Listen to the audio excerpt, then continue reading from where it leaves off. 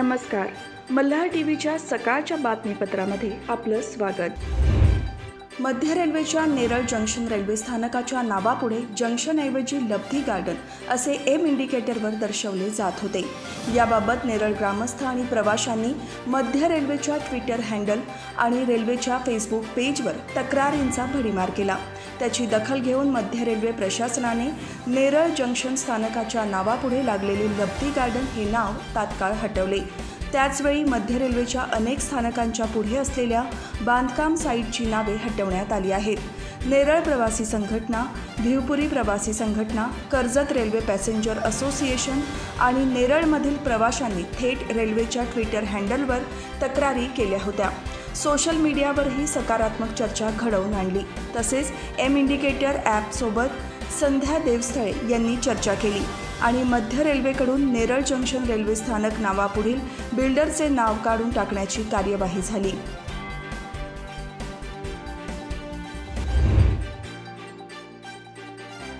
जे N P ए बंदरात जवळपास साडेनऊशे कामगार विविध सोसायटींमध्ये कॉन्ट्रॅक्ट वर्कर्स म्हणून काम करत आहेत.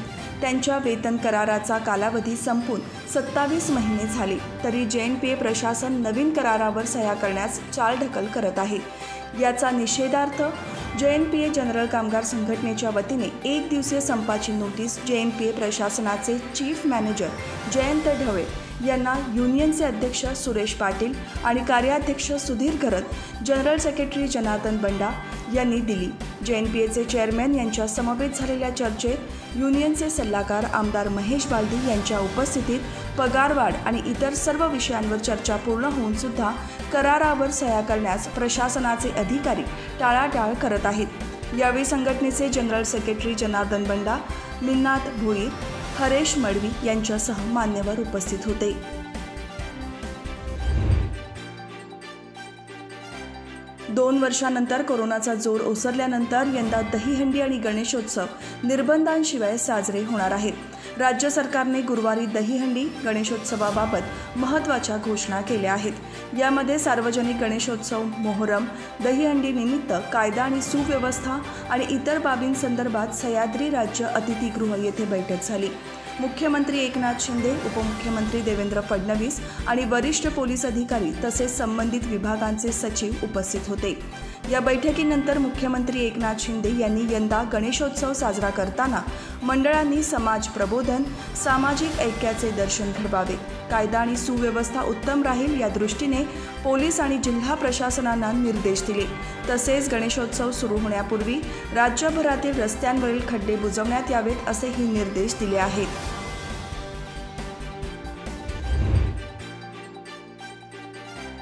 पनवेल तालुक्यातील नेरे गावातील सायली श्याम ठाकूर महाराष्ट्र लोकसेवा आयोग परीक्षेत ओबीसी महिला प्रवर्गातून प्रथम आली असून तिची उपप्रमुख कार्यकारी अधिकारी या पदावर नियुक्ती झाली आहे. सायलीच्या उत्तुंग यशाबद्दल बुधवारी पनवेल तालुका पोलीस ठाण्याचे वरिष्ठ निरीक्षक रवींद्र दौंडकर यांच्या हस्ते गौरवण्यात आले असून पुढील वाटचालीसाठी शुभेच्छाही देण्यात आल्या. पनवेल तालुका पोलीस ठाण्यात झालेल्या या सन्मान सोहळ्यावेळी निरीक्षक अंकुश खेडकर सहाय्यक निरीक्षक भोईर सायली ठाकूर हिचे कुटुंबीय पोलीस ठाण्यातील अधिकारी वर्ग उपस्थित होते. सायलीच्या यशाबद्दल तिच्यावर अभिनंदनाचा आणि कौतुकाचा वर्षाव होत आहे.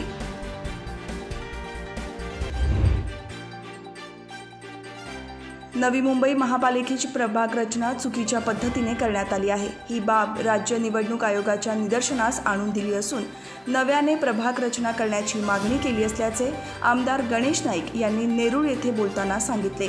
भारतीय जनता पक्ष नेरूळ कुकक्षेत्रच्या वतीने सलग चार दिवस विविध सामाजिक उपक्रम माजी नगरसेवक सूरज पाटील यांच्या पुढाकाराने सुरू आहेत. या कार्यक्रमाला आमदार गणेश नाईक यांनी भेट दिली. यावेळी त्यांनी नवी मुंबईतील तीन नगरसेवकांच्या भाजप प्रवेशाबाबत बोलताना नवीन गवते कुटुंब शिवसेनेच्या शिंदे गटाचे नसून ते आमचेच होते असे त्यांनी बोलताना स्पष्ट केले. यावेळी माजी सभागृह नेते रवींद्र इथापे माजी नगरसेविका शुभांगी पाटील सुजाता पाटील जयश्री ठाकूर यांच्यासह पदाधिकारी आणि कार्यकर्ते उपस्थित होते.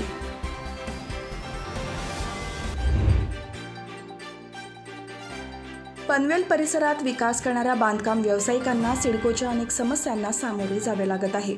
अनेक कामे खोळंबली असून सध्याचे शिंदे फडणवीस सरकार न्याय मिळवून देतील आणि आमच्या समस्या सोडवतील असा ठाम विश्वास पनवेल परिसरातील प्रसिद्ध बांधकाम व्यावसायिक असलेले दुधे बिल्डर्सचे तुकाराम दुधे यांनी व्यक्त केला आहे.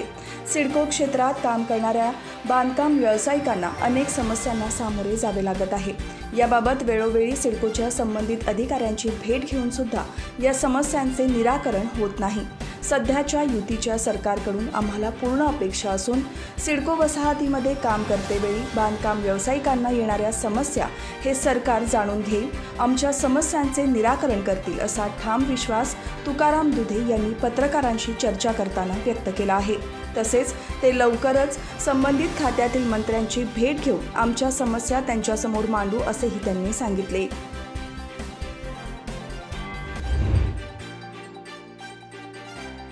खारघर रेल्वे स्थानकातून बेलपाडा गाव तसेच खारघरमधील सेक्टर पाच सहा उत्सव चौक मार्गे सेक्टर एकवीस आणि टाटा कॅन्सर हॉस्पिटल आणि पुढे तळोजाकडे जाणारी वाहने यांना जाण्यासाठी अंडरपासची सुविधा सिडकोकडून देण्यात आली आहे. दरवर्षी पावसाळ्यात या अंडरपासची दुरावस्था होत असते. म्हणून भाजप पदाधिकाऱ्यांनी या संदर्भात सिडकोकडे पाठपुरावा केला आहे. दरवर्षी या अंडरपासमध्ये पाणी साचते आणि रस्त्यात मोठमोठे खड्डे पडून पाणी भरते. नेहमीप्रमाणे सिडको थातूर मातूर मलमपट्टी करते पण ठोस उपाय करत नाही. पाणी साचल्याने खड्ड्यांचा अंदाज न आल्याने येथे नेहमीच छोटे मोठे अपघात होत असतात. सिडकोचे सर्व अधिकारी हे सारे जाणतात पण कायमस्वरूपी उपाययोजना करत नसल्याने दर पावसाळ्यात हा मार्ग मृत्यूचा सापळा बनून राहिला आहे. या मार्गासाठी कायमस्वरूपी उपाययोजना करून जनतेला होणाऱ्या त्रासापासून मुक्त करा. यासाठी सिडको कार्यकारी अभियंता श्री रघुवंशी यांना भाजप खारघर मंडळचे अध्यक्ष ब्रिजेश पटेल आणि माजी नगरसेवक शत्रुघ्न काकडे यांनी निवेदन दिले आहे.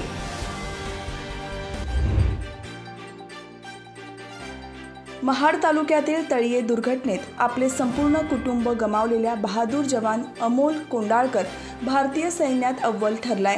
भारतीय सैन्यात दीडशे जणांच्या ग्रुपमध्ये कॉम्बॅट इंजिनिअरिंग इन्स्ट्रक्टर या कोर्समध्ये प्रथम येत पदक पटकावले आहे. तसेच आईवडिलांना हीच खरी श्रद्धांजली असल्याची भावना त्यांनी व्यक्त केली आहे.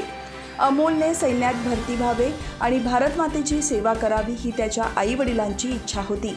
त्यानुसार अमोल कोंडाळकर हा भारतीय सैन्यात दोन हजार बारामध्ये भरती झाला होता.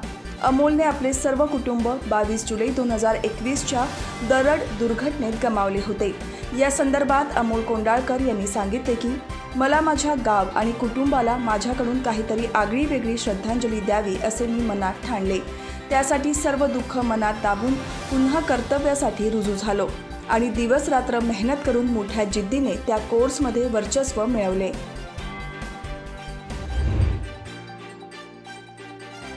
भारतीय जनता पार्टीची प्रदेश कार्यकारिणी बैठक शनिवारी पनवेल येथे होणार आहे. प्रदेशाध्यक्ष चंद्रकांत पाटील यांच्या अध्यक्षतेखाली होणाऱ्या या बैठकीत उपमुख्यमंत्री देवेंद्र फडणवीस यांचे प्रमुख मार्गदर्शन असेल अशी माहिती भाजप प्रदेश मुख्य प्रवक्ते केशव उपाध्ये यांनी दिली आहे. केशव उपाध्ये म्हणाले की या बैठकीस भाजप प्रदेश प्रभारी आणि राष्ट्रीय सरचिटणीस सी टी रवी राष्ट्रीय सहसंघटन मंत्री शिवप्रकाशजी पक्षाचे राष्ट्रीय पदाधिकारी प्रदेश पदाधिकारी आमदार जिल्हाध्यक्ष विविध मोर्चा आघाड्यांचे अध्यक्ष आणि कार्यकारिणी सदस्य असे सुमारे आठशे प्रतिनिधी उपस्थित राहतील. बैठकीचे उद्घाटन प्रदेशाध्यक्ष संबोधनाने होईल. तर उपमुख्यमंत्री देवेंद्र फडणवीस यांच्या मार्गदर्शनाने बैठकीचा समारोप होईल. दिवसभर चालणाऱ्या या बैठकीत राजकीय सद्यस्थितीविषयी चर्चा होईल. तसेच आगामी कार्यक्रम जाहीर करण्यात येईल अशी माहिती त्यांनी दिली.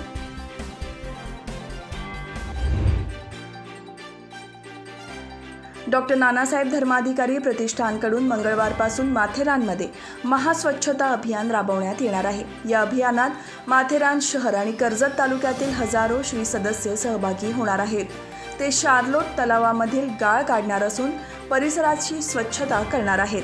पावसाच्या पाण्याबरोबर जंगलातील गाळ आणि माती तसेच पालापाचोळा वाहून येऊन शार्लोट तलावाची साठवण क्षमता कमी होत आहे. या तलावातील गाळ काढल्यास माथेरानकरांना आणि पर्यटकांना स्वच्छ आणि मुबलक पाणी मिळणार आहे.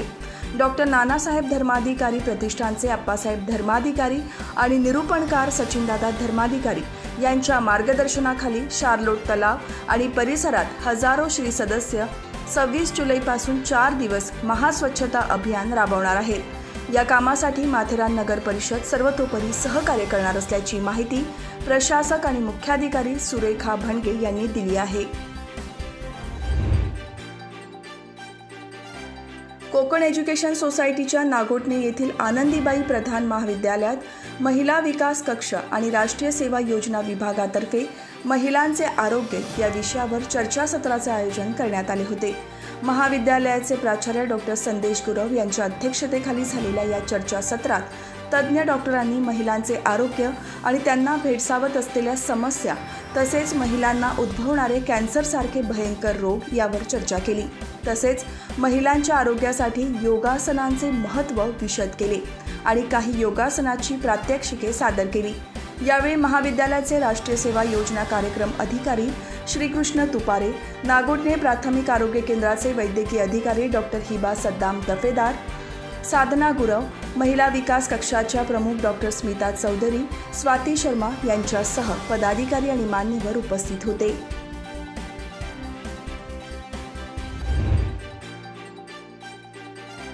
गेल्या काही दिवसांपासून पडत असलेल्या दमदार पावसामुळे रायगड जिल्ह्यातील धरणांच्या पाणीसाठ्यात मोठी वाढ झाली आहे.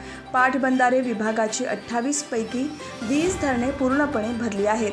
रायगड जिल्हा परिषदेच्या अखत्यारीतील आठ लघु पाटबंधारे प्रकल्प आणि एकोणचाळीस पाझर तलाव पूर्ण क्षमतेने भरले आहेत.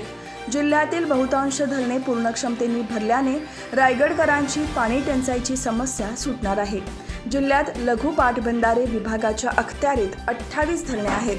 यातील वीस धरणे पूर्ण क्षमतेने भरली आहेत. तसेच जिल्हा परिषदेच्या अखत्यारीत असलेल्या नऊ लघुपाठ बंधारे प्रकल्पांपैकी आठ प्रकल्प पूर्ण क्षमतेने भरले आहेत.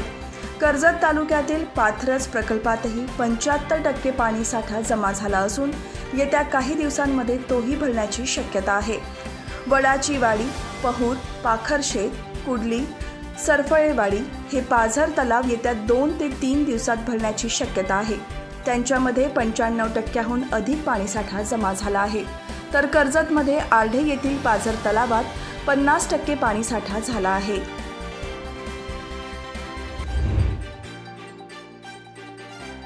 रायगड जिल्हा परिषदेच्या शिक्षण तसेच पाणी आणि स्वच्छता विभागाने प्राथमिक आणि माध्यमिक शाळांमध्ये स्वच्छता माहिती केंद्राची निर्मिती हा अभिनव उपक्रम हाती घेतला आहे. या उपक्रमांतर्गत विद्यार्थ्यांना आरोग्य आणि स्वच्छतेविषयी मार्गदर्शन करण्यासोबतच शाळांमध्ये विविध सुविधा निर्माण करून देण्यात येणार आहेत. विद्यार्थ्यांच्या सर्वांगीण विकासाला चालना देण्यासाठी रायगड जिल्हा परिषदेमार्फत विविध उपक्रम राबवण्यात येत आहेत. विद्यार्थ्यांना अभ्यासाचे ओझे न वाटता शिकण्यासाठी स्वयंप्रेरित करणे हा या मागील उद्देश आहे. या अभिनव उपक्रमाची माहिती देण्याकरिता गटशिक्षण अधिकारी केंद्र प्रमुख यांच्याकरिता पाणी आणि स्वच्छता विभागामार्फत गुरुवारी कार्यशाळेचं आयोजन करण्यात आले होते. या कार्यशाळेमध्ये महिला बचत गट शिक्षक आणि विद्यार्थी हे तीन घटक एकत्र येऊन काम करतील तेव्हा सामाजिक क्रांती निर्माण होईल. या तीन घटकांमार्फत प्रत्येक घरापर्यंत पोहोचणे सहज शक्य असून स्वच्छतेची चळवळ निर्माण होईल. तसेच सर्वांनी आपला परिसर स्वच्छ ठेवण्याची सवय अंगीकारली पाहिजे असे मत जिल्हा परिषदेचे मुख्य कार्यकारी अधिकारी डॉक्टर किरण पाटील यांनी मांडले.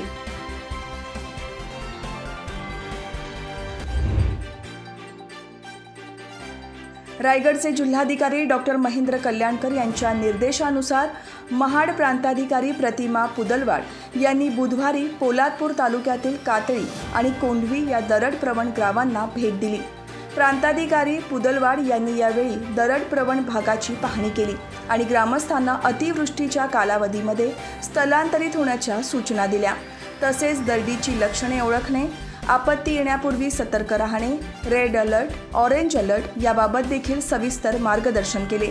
यावेळी ग्रामस्थांनी सांगितलेल्या समस्यांवर उपाययोजना कराव्यात अशा संबंधित कर्मचाऱ्यांना प्रांताधिकारी पुदलवाड यांनी सूचना दिल्या. यावेळी पोलादपूरच्या तहसीलदार दीप्ती देसाई यांच्यासह संबंधित मंडळ अधिकारी तलाठी संपर्क अधिकारी आणि ग्रामस्थ उपस्थित होते. राष्ट्रवादी काँग्रेसचे नेते नवाब मलिक अनिल देशमुख यांच्या पाठोपाठ प्रफुल्ल पटेल यांच्यावर ईडीने मोठी कारवाई केली असून त्यांची संपत्ती जप्त करण्यात आली आहे. इक्बाल मिरची प्रकरणी ईडीकडून ही कारवाई झाल्याचे सांगितले जात आहे. वरळी येथील प्लॉट खरेदी प्रकरणी मनी लॉन्ड्रिंग झाल्याचा आरोप हा प्रफुल्ल पटेल यांच्यावर ठेवण्यात आला होता. दरम्यान ईडीने केलेल्या या कारवाईत प्रफुल्ल पटेल यांचे वरळी येथील घर जप्त करण्यात आले आहे. इक्बाल मिर्ची याने हा प्लॉट खरेदी केला होता आणि त्यानंतर हा एका डेव्हलपरने हा प्लॉट डेव्हलप केल्यानंतर यातले काही फ्लॅट पटेल यांना विकले. या व्यवहारात मनी लॉन्ड्रिंग करण्यात आल्याचा आरोप आहे.